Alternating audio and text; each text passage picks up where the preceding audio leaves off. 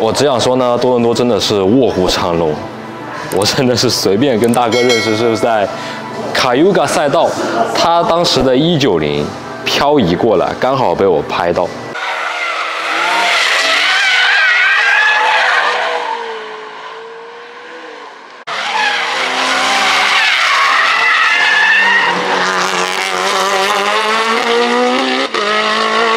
然后我就把这个 clip 发给他过后，于是两人来说相见恨晚吧，然后就遇到了大哥的车库里面，他连 SLR 都在改装。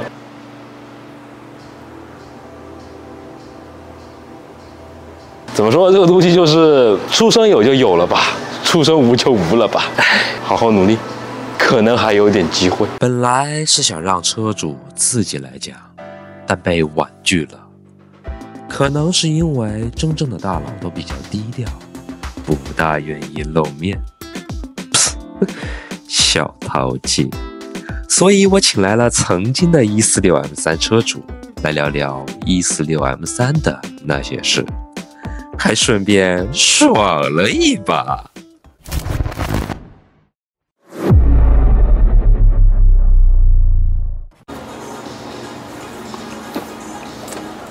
我做 Recaro 嘛，长胖了，啊，行吧，就做 SPG SPG 还挺夸的。SP，我操！啊，我们今天来到了多伦多一家十分隐秘的车。库里面，我差点说要说车行了，车库里面啊，看到了一台十分整的146 M3。大哥呢，这台车是从日本运过来的，然后现在走了四万公里。这个颜色是什么颜色？因为我我没有开过146 M3，我只有195 M3。我对146 M3 停留的概念是在《警分的九 Most Wanted》上面，是玩这个游戏的时候我才知道146 M3 GTR 这台车，那也是我梦想的一台车。所以作为曾经的146 M3 的车主，今天你有绝对。发言权，就这个的话，如果没记错，这个颜色应该是叫 Carbon Black。它虽然说是叫 Black，但是它其实是带蓝的一个黑色。看上去的话，其实跟我以前的挺像的，除了我的是改装过，这个是全原原厂的素车。啊，这台车的话是手动挡，你之前那一代是手动挡吗？我的是 SMG 的，当时是，就是被大家一直都诟病的一个 SMG。对我也是因为这个原因而卖了我那个车。但说真的，SMG 是真的那么有？因为我没有开过 SMG。其实说说实在的，SMG 的话呢，它开上去会更像是一个半自动离合的手动挡。你不要想着它就是好像现在的 DCT，开上去就很平顺，然后电脑会帮你去协调很多东西。当时我开 SMG 的时候呢，其实很多时候我要用一个开手动挡的 logic 去开这个车。例如说，平常当你起步那一下呢，你要半离合的状态去一直去。Hold 住那个油门，然后等 touch fully engaged 了以后呢，你再慢慢给多一点油。每一次换挡的时候，你还是要松一松油门，然后再去换挡，再踩下去呢，车才会开得顺的。我当时车一回来的时候，我是没有刷 CSL 程序的，所以就变成降档还要自己再补一脚油。等一会儿，你说它半离合的时候，嗯，那左脚干嘛？左脚就闲着。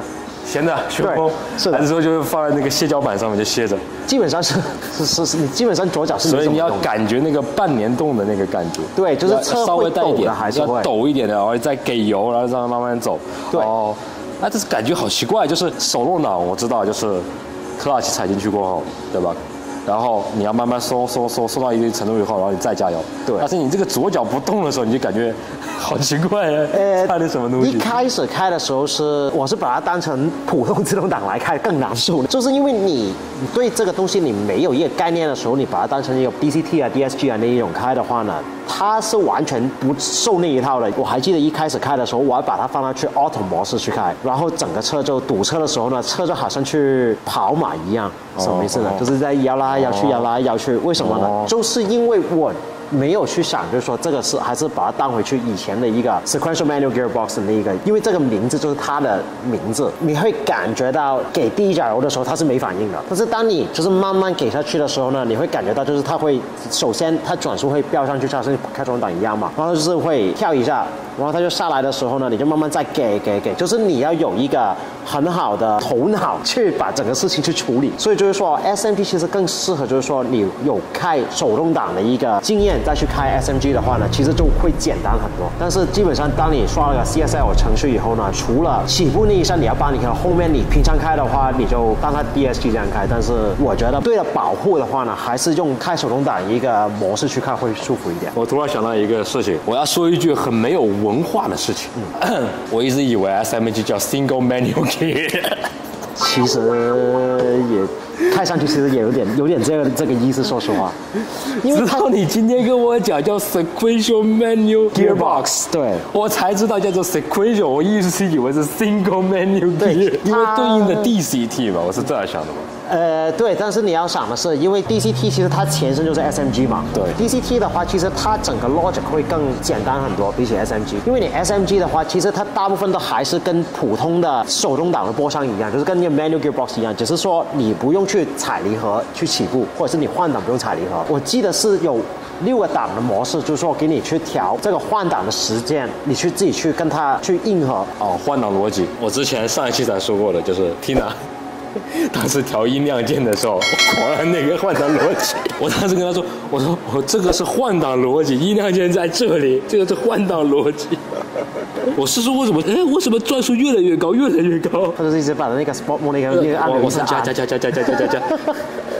我自己其实就很奇怪，我其实挺喜欢开 SMG 它那个 logic 的，因为不用去踩离合，但是呢，也可以有一个用手动挡去开车的一个 concept 去开这个车，但是其实到最后还是买台手动挡吧。我们都知道这个车的话有很多诟病，老的宝马嘛，嗯，尤其是高端的宝马，好比说什么 Vanos 啊，嗯，Roll Bearing 呢，嗯哼，我听说这一代还有那个 Rear Subframe，对，它 rear subframe 其实是比较脆弱的一个东西，它会有裂的一个情况会发生。这个车也出了这么多年，坊间也有很多不同的方案去维护或者是说巩固这个 rear subframe 的一个改装上去。有一些呢，只是给你在加四个架子；有一些它就是说叫 subframe reinforcement 的，到最后还是加包去把这个 rear subframe 把它撑住。有一些人呢，他直接是当他装了 subframe reinforcement 的话，他就会在后尾箱下面再加一个四方架，就是把这个后边的直接是把它加固。我个人其实比较崇拜这一代一四六 M 三，是因为当年的一四六 M 三的目标只有一个，就是干掉九幺幺幺。那现在的话就觉得其实应该这样说，因为当时九幺幺才多少多少匹？三百匹。三百匹对。对啊，呃，它重量的话，其实两个车也差不多，所以就他们两个在那个年代可以说是对打的一个作品吧。而且价格的话，其实当年也没有说差的，我不太记得，因为我那个时候还是少数在香港啊两个新车的时候，我觉得两个车都是快一百万的车港币，就是同一个 price range 说，其实都是一个 sports car 的一个定向。它只是说多了两个座位后面，主要也有两个座位，但是不是给人坐的。你说 V 八的 M 三一九二，然后 C 六三，其他的话大部分已经去到八缸了嘛。啊、呃，一四 M 三，如果说同级对手的话，当时我记得是还没有 RS Four 这个事情，还是 S Four。B 六跟 B 七都是四点二，然后是三百四十匹，还有奔驰就是 C 三二三点二的 Supercharge，其实马力大家都是在三百三到三百四左右，我记得没有说差太远。然后九幺幺其实它普通版本的话九九六，我记得两百九到三百匹左右，也没有说到太夸张的一个数字。当时这个年代，大部分大家去拼的一个事情就是说，哦，宝马就是拼它的，更多的是它的 driving feel 高转速。然后你看那 S Four，我记得当时的 S Four，因为我是没有开过 S Four，我开过 RS Four，没有开过 S Four。然后 S Four 的话呢，我记得转速其实也没有到特别高，但是它只是有一个比较好的动力的一个输出，但是它也没有多快，我记得。然后 C 三二呢，当年的 AMG 就是说直线、直线、直直线，它弯道它也能拐，但是也没有去到就是说特别好的一个弯道性能给你。你去到后面的话，九九七那一代的保时捷。它出来已经是呃一九二那一代，其实一九二在马力上它已经比九九七大很多了，但是九九七它更偏向于它要给你就是操控的一个 feedback。所以就更不一样了。一四六跟一九二两代车，其实它们两个的不同挺大的。你说一九二它没有兴趣做这个车吗？其实不是，它整个车其实比起一四六的重量没有差很多。然后啊、另外一个就是说，你说这个直流引擎的话呢，其实它反而是有点时代产物的。你要想一想的话，因为它是从 S 五零去到 S 五二，再去到 S 五四，其实都是直流引擎，它就是在那个基础上面一直去做一些啊、技术的改变啊，有一个 technology 的一个 upgrade 上去的。小时候有一些人跟我说说，哦，因为 E 3 M 3是用呃 individual throttle body ITB 啊但是其实在北美的话，E 3 6 M 3当时这个车是差点没有进加拿大的，只是到后来就是说啊、他们也筹到这个车，看过一个 video，当时为什么北美会有 E 3 6 M 3这个事情？对。对，但是那一代的话呢，它虽然说也是一个 S 五二零引擎，但其实更多它不是一个纯当年的 M 引擎。对因为 M 引擎在欧洲的话呢，它一直都是用 ITV 的，这个是从对啊一三零到一三六到一四六，然后到后面的一九二，它都是永远都是 ITV 的一个技术都放在里面。S 五四这个年代的话，第一更多的是从 S 五二的一个机器上面去做多了一点点的技术在里面。说去到一九二的话，它更多的是会注重在啊、重量，另外一个就是说它操控感，还有就是说它能给你带来什么样的感觉。其实你问我的话，一九二跟一四六，如果我要再买的话，其实啊、我还是会选择一四六的主要原因，我比较喜欢它好看。我真的还要再跑赛道的话呢，反而一九二会更是一个利器。私下问了一下这个大哥价格，他跟我说，呃，有点不好说。然后后来问了一下公里数，我就知道为什么了。他说四万公里，原版原漆无事故。以前我就是一直往日本车的时候呢，是去到当我自己有第一台宝马，我记得是三三零 i 的 ZHP 的四门 sedan，然后呃那个时候一直在想，就是说，哎有没有机会我可以自己去弄一台比 E 6 M 3 Coupe 还要快的车？其实就要快不难，但是你要做到有那个竞技程程度呢就很难。当时我那台其实那个是真的限量版，因为它是啊、M Performance Edition，它的当年 M Performance Edition 跟现在还不一样。我那台是有六速手动挡，普通的是五速手动挡。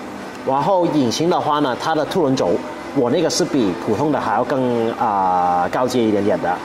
普通版我记得是两百三，我那个是两百，没有，我那个好像是两百三十匹，普通的是两百二。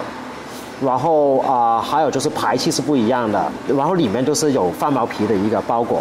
当时的 Alcantara，对，就当年的呃 M Performance 跟现在 M Performance 就是一直刷电脑有点不太一样。然后到后来就有一些偶然的机会，就是我的一个朋友就把他 EC6 M3 出掉，问问我有没有兴趣。哎，行吧，反正就看一看有什么区别嘛。所以就当时就有一个机会，就买了一台 E 4 6 M 3但是真的两个车开起来的话呢，因为我那台三三零当时是被我改了机增进去的，改了机增以后，对马力它是比 E 4 6 M 3还要大很多。但是 E 4 6 M 3呢，它就是每一段力的话呢，它给你给的更平均，而且因为都是玩本田出身嘛，所以变成了对高转速这个事情呢会更注重一点。其实你说激增呢，它反应其实已经很好了，但是它也没有去到一个点，就是说能像啊、NA 这么自如，就是说这你踩油是它给你多少反应的话呢，因为你到 at the end 的话，你还是要靠 boost 去给你推上去嘛。虽然说大部分的 supercharger 都是用一个皮带，都不是大部分，其实根本就是，就是用皮带去带动嘛，就是它跟你 crank pulley 去跑的嘛，所以变成就是说你的 crank 转多少，它就是会带动这个皮带去带到你另外一个 pulley，就是给 supercharger 的，去带多少的加速给你。但是 at the end NA 的话呢，开上去它给你那个感觉就不一样。油门你是给百分之五十、百分之六十、百分之七十的话，你踩每一段下去的话，它就给你一个不一样的一个感觉。就是 NA 的车，对你说马力大吧，它也不大，但是呢，它就是给你更多的是一个反应跟你的感觉。对，就像就像我平时讲了一句话，就是就私下讲一句话，我这句话从来没在我频道里面讲过。啊就是很多人现在就觉得就是说啊什么你两秒啊，我三秒啊，我两秒啊这样子，然后我就跟别人说啊，你看两秒少年，对吧？三秒少年，好像我之前跟你在聊，就是那一期节目里面有聊过嘛，就说你想要一个数据的车，还是你想一台你开上去过瘾的车？这台 M 3的话，还有什么其他的问题呢？比如说 subframe 啊、vanos 啊，以及它的 roll barrier 这些，这是三大件嘛？还有什么其他的我们不知道的问题？因为作为车主的你比较了解一些。其实手动挡的话就已经问题小了一半。其实这个车你说它耐用的话，它是挺耐用的。其实宝马的话呢，来来去去坏的东西就是说漏油，还有就是啊、水泵会 fail 掉。其实就这几个问题就比较少的事情。其他的话，其实 in general 来说，手动挡的 M 3都是比较耐用的车。你说 O2 sensor 那一种就不错，什么车都会坏嘛。维护下来其实也没有到太太头痛，只是说哦波上啊，还有就是它的尾牙它那个油就到时到后一定要一定要换。机油的话呢，也是跟你的 M3 当时一样，也是跑十的 r e d u c e 的，你就是要先暖好车再踩。宝马永远就是说，它用十的 r e d u c e 的话，你也要 respect 这个 rule，去怎么把这个车维护好一点。宝马其实它也是一个挺有良心的一个车行，M 车上面呢，它的这个转速表啊，它下面是有刻着，就是说你能什么时候踩的，这个都有了吗？有。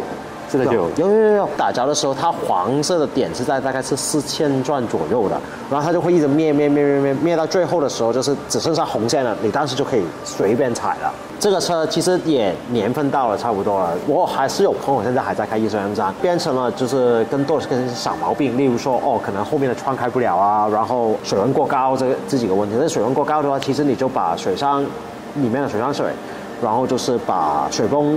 还有 thermostat 那一种东西，把它翻新一下，水管也如果有这个能力的话，就把它翻新一下，其实就也会把这个问题保护好一点。还有就是说漏油这个问题，是真的要弄。就是有一些人，好像我他以前是改了整段的，就是变成 header 直接外露了。它滴一滴的话就滴下去，滴下去 header 上面的话呢，那就啊冒烟，对，冒烟啊，烧车啊，这个事情就自己看着办吧。但相信关注本频道的朋友们来说，不仅是要聊这个车的不好之处，我们想聊一下这个车改装方案啊，到底怎么改？那如果你说要改呃自然吸气的一个方向，其实是最贵的，因为你可能花一万块钱，其实你马力可能多三十匹。你可以换一个是 Shrek 的一个 cam，我记得是应该二八八的一个度数的 cam。然后进气呢，看你有多少财力吧。最梦幻的一个进气呢，就是把 CSL 的那一个搬过来这一个，那个声音第一很好听。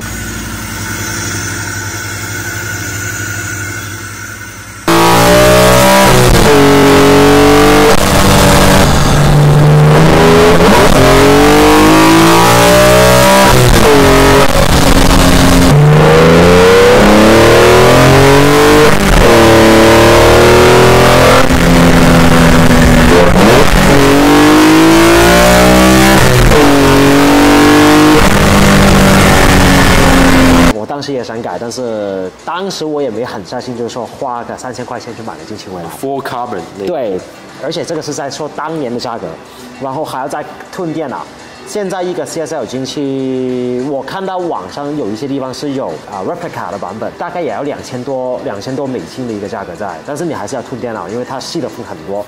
但是它出来的声音就很好听。然后呢，就是改 M3 排气呢，就跟其他车不太一样的，因为很多时候我们改车都是说哦改 catback 一一条直接过了，但是它这个车呢是 section 几去来算的。对。要定零件的时候，可能说哦 section one 你要改 header，然后改 header 的话呢，最划算的改装了，就直接去买一个 Euro headers。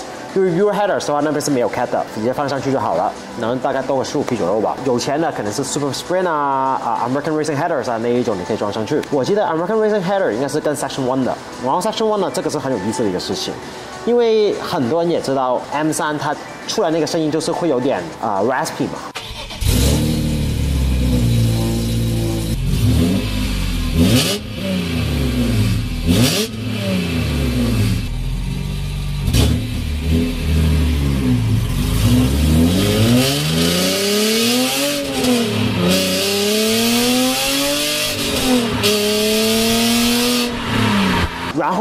M3 呢，在那个年代啊，有很多不同的改装厂去给它出零件，也就有了当时类似现在的 Equal Length Mid Pipe Gate F80，它就是把一个管子装上去以后呢，你车子的声音就变成缓厚，但是就没有了它 M3 那种很 metallic 的那种 raspy 的声音。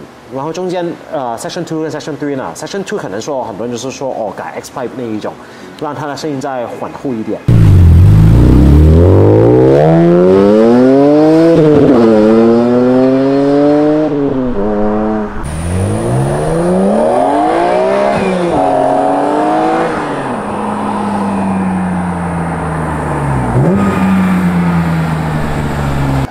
然后就自己大家自己喜欢买什么就买什么吧。Muffler 也不会说提升太多的马力。正常来说，一个 E36 M3，当你改 NA 如果没有动到 Cam 的话呢，大部分拉马力出来大概在两百九十几匹到轮上左右吧。然后其他的改装的话，就是说啊，可以用 Supercharger 去改装。更疯狂的话就是加涡轮。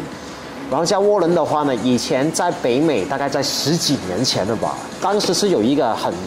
出名的一个公司叫 Horsepower Freaks，叫 HPF，他们的有 Stage One、Stage Two、Stage Three、Stage four 的，OK，。Stage Four 是能达到大概一千一到轮上的，但是就肯定要 full engine。HPF 现在能买到的话呢，其实都是一个梦幻之品，已经是基本上买不到，因为它公司倒闭了很多年了，已经是。然后 supercharger 的话，大部分可能都是去改呃 active auto work 的一个 supercharger。但是其实我觉得吧，玩 M 三的话，其实就玩它纯粹就好了。你说你要跟它拿去来拼速度，它也没必要。哦，对，还有一个还有一个改装呢，我挺建议大家去改的。后面的尾牙把它改成啊四点一或者三点九一的。然后它整个加速那个力度呢，就是很爽朗。但是你高速的话，你把尾牙大加大，你高速会不会转速相对来说？其实它没有到很高哎。你要因为你说你开一个欧洲的手动挡，跟你开一个日本的手动挡啊，其实区别很大。就是说，日本的车大部分它那个尾牙啊，就是不要算 Supra A 八零 Supra，或者说你 GT R 的那个六速手动挡，或者是五速手动挡。如果你说看大部分小排量的话呢，它尾牙都是比较大的数字来的。但是当你说你去到欧洲车的话呢，其实它每一个档 gear ratio 挺长的，所以变成了，当你改环以后呢，其实后面可能就是多个两百转到三五百转顶多。四点一的话，就基本上。已经是这个那就能提升不少的零到一百的加速极限，而且你开上去的话，它给你的反馈也会更自然。现在的车比较需要的，当年这个是不需要的，是什么呢？油门加速器。不怕得罪的说一句，以前的电子油门做的比现在电子油门好。你开这个车的时候呢，就算它是一个电子油门的话呢，它有个 Sport Mode，它这个 Sport Mode 呢是给你的油门那个调节的。当你按了那个 Sport Mode 以后呢，其实它的油门。给你的反馈其实也挺足的，你踩传统拉线油门的那一种抗力，只是没有了那一下，但是其实你踩下去，它这个油门是很舒服的。降档补油啊，所有东西的话呢，它都是非常 direct，不像说好像现在很多新车的话，你要加一个油门加速器进去，这个是完全不需要，它是电子油门，但是它做到像一个拉线油门这么好。这一代如果也是电子油的话，会不会有 throttle actuator 问题？这一代也是会有，但是也比较少见，不是说一个很出经常出现的一个毛病。不会像我那一代，不像一九二跟一六零 M 的那一个，它它就没有那么脆弱。你说一九零一九二的话呢，其实我觉得是类似上一个新的挑战给他们自己对去做的一个产品出来，他就很清晰知道自己的定位在哪里，反而是在后面呢，他就还开始定位模糊的一个区别。所以我觉得说，其实你问我一九二的跟一四六的话，最好都两个同时拥有。但是如果说只能选一台的话，就看你自己喜喜欢 V 八，还是你喜欢直六给你的那一个纯粹。它这一代，因为我知道一九 M 三的那一代的话，有一个问题就是，一九 M 三如果是手动挡的话，你升档的好像是第五档的时候你要补一脚油上去的，因为它跳掉转速掉的太快啊。是第四档还是第五档我忘记了，反正是你需要补一脚油。那这个车有过这个问题吗？我当时那台是 SMG，所以我真的是受不了。但是我看我朋友的。好像也没有这个问题，你等下我们去试一下。可以。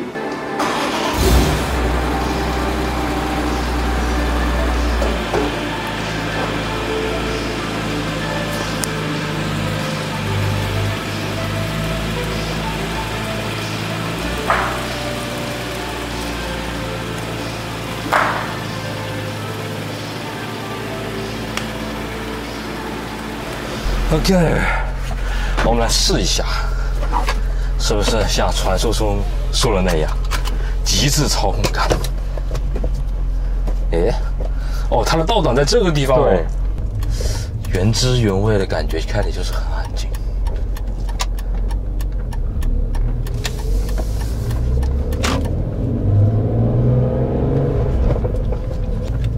它这个是不是还是风油台？对，它这个还是用啊传统的那一种液压的。怪不得我就是低速的时候感觉就很重，对，但是我觉得它这一代比起一九二一九零的话，它转向会更直接一点，它给你个反馈。对，我就感觉没有那么多矿量在里面，感觉非常的 straight 直接。我每次都会不自觉的在这里按窗户。啊，对，那个那个年代的宝马就是它的这个，对，它是在中间的。现在，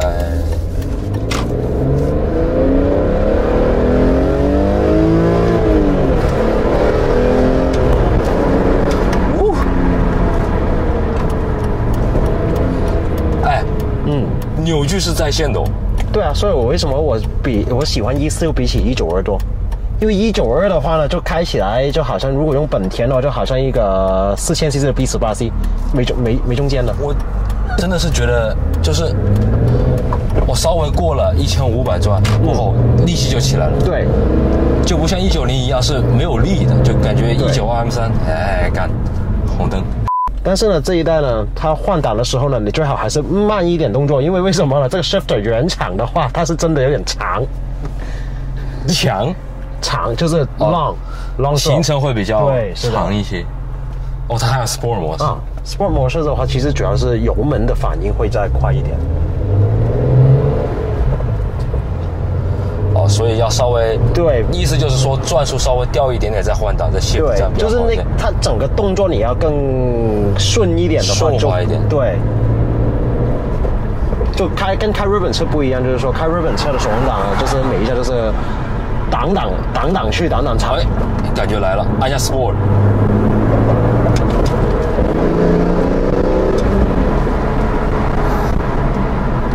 张贼。哎，它的根子也很好做。对啊，虽然车主跟我说了是随便踩没问题，但是我觉得，毕竟人家的车，这是对人家基本的尊重，还是不要乱踩比较好一点。对了，但是它这个过弯来说的话，我我觉得为什么比本田好像好舒服一些？本田比较舒服，我觉得比本田舒服一些，那些。肯定啊。就好像刚才我跟车主在聊的时候，就说相比起来，就是说后驱它有一个优势在，而且宝马当年它做出来的那个 just slogan Ultimate Driving Machine 是真的在线的，它给你就是那一种 experience，就是非常的一个很很好的感觉，你一下就是而且它的避震的话没有过多的动作，它是有改避震吗？车主没有没有，是原厂原厂的全原厂的车。对，，是的。哎，这个避震比欧力士舒服哦。你你用原厂去比有点难比吧，哥。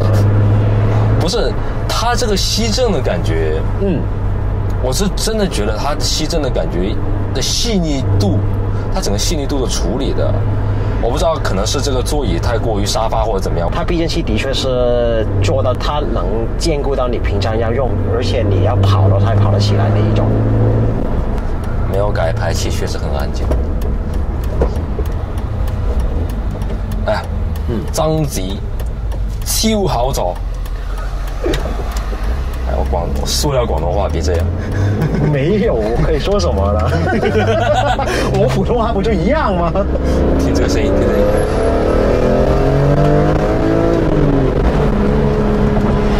哎，它这个油门，嗯，反应 Sport 模式下，确实不大一样。对，差很远。哎，它这个是我丢，它这个山灯我也是拍照的，哎路灯坏掉了。呃这一去都这样。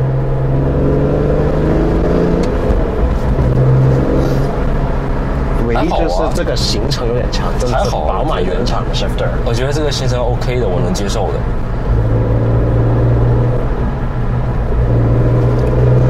拍弯是不是这么讲？劈个弯看看。台湾啊，台湾啊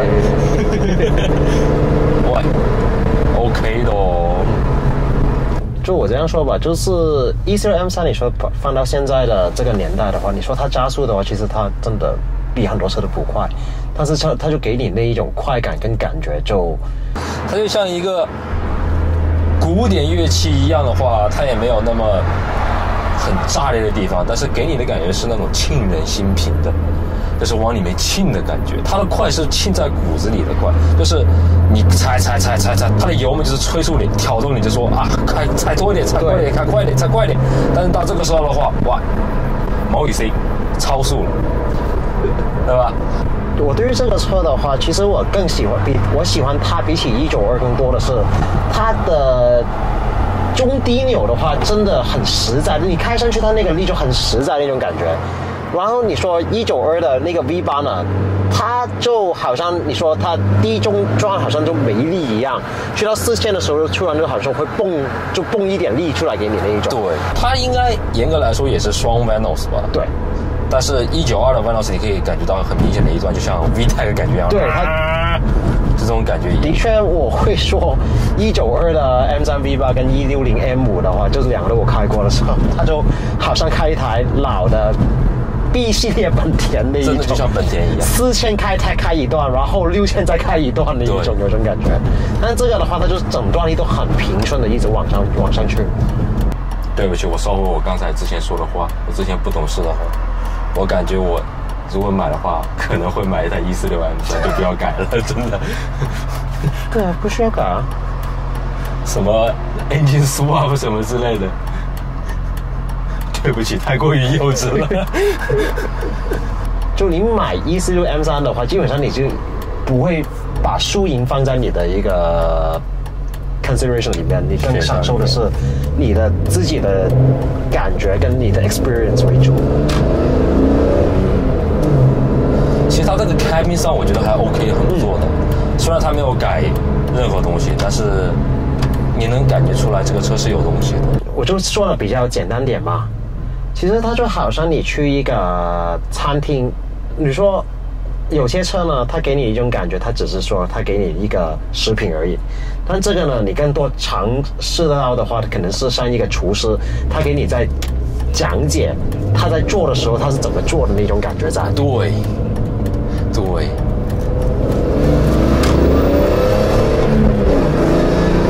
哇，这个油门反应是够的哦。红灯哎丢，是不是基本上油门加速器就不用改？真的是不用改，真的随踩随有，随踩对感觉不出来。你跟我说它是拉线油门，嗯我都信，我都信，我真的都信。有一种它的 throttle response 有一种我开，哇，喂，我要掉头。挺好的，还可以拍个花絮，就是说多伦多开车对，not just Brampton bro。，Oh my god。就是他给我的感觉就是有点像 S 两千 AP One 的油门反应，有点像。有点像。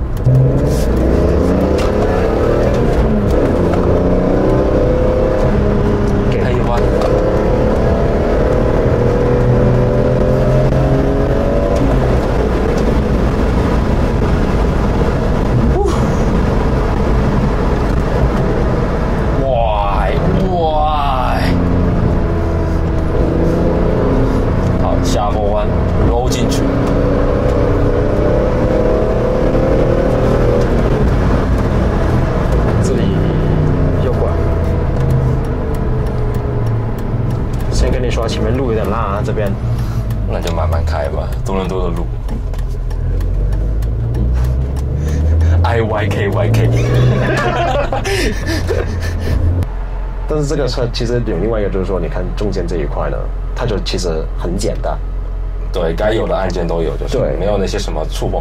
哦，对，我想起来了，我为什么会讨厌不喜欢 F K 八的一点就是，它这个键你怎么按都按不了。哦，对，我想要调一点音量，我一按，要么就是一下开很大，要么就是一下调很小。这一种不就很好了吗？所以为什么我是比较喜欢测试用传统按钮的？对，传统按钮是非常好的，它每一个按的地方都比较，就是你一是一，二是二，这个感觉是最好的。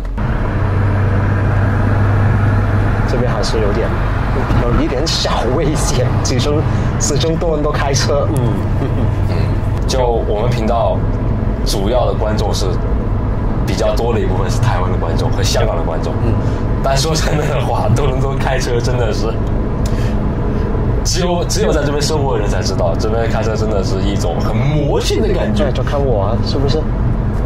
我不撞了，我摊牌了，我都被撞了，停在那边都。真的，你停在路边，你都可能会被撞，不知道为什么。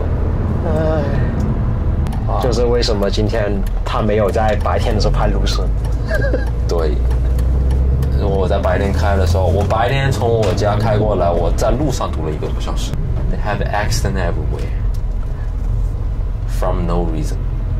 空档手刹，教练我看的怎么样？呃，还行。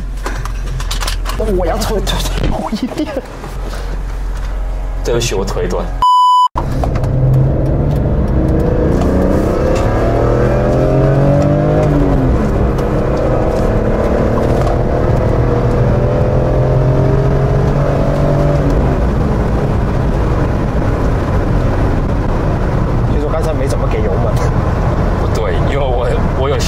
就不该这么给油。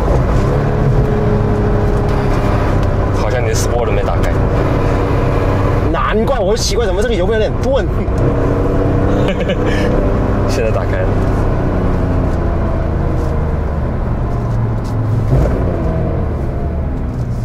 但是它真的是说实话，如果说油门反应的话，都比很多新的电子油门的话，它反应更好一点。而且它现因为现在很多新车的话，它有一个问题就是说，哎，它会有一个 rev hang 的问题嘛，这个车都没有。其实有些时候开在路上，有些时候在想，五百匹是不是挺好的？需不需要呢？对，但是你平常晚上在绕一绕的时候呢，其实你不用多少的马力啊。其实我现在的话，我也跟你说过，就是我开车我更讲的是反应。